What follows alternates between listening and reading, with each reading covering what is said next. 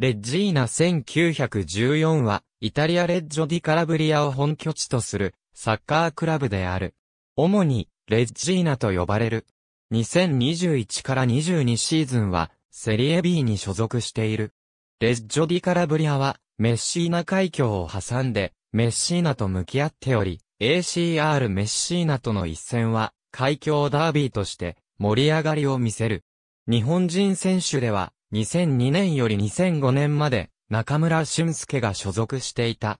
1991年より会長を務めるパスクアーレ40は弱小クラブであったレジーナをセリエ C1 からセリエ A まで昇格、残留させるなど優れた手腕を発揮している。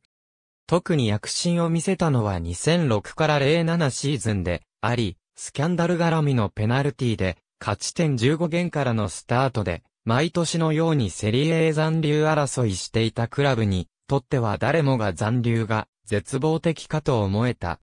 しかし、就任3年目のワルテル・マッツァーリ監督の適材適所の采配が光り、勝ち点減の影響もあり、最終的には残留ラインギリギリの14位に終わってしまったものの、勝ち点減がなければ、UEFA カップ出場権まで、あと一歩のところまでの成績でシーズンを終えていた。2008から09シーズン、7年ぶりの降格が決定した。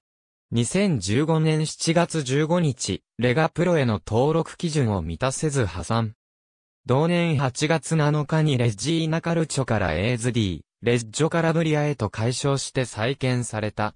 2016年、SSD アーブススポルティーバレジーナ1914 ARLA、さらにアーブスレジーナ 1914SRL に解消した。2019年7月1日、レッジーナ 1914SRL に解消することを発表した。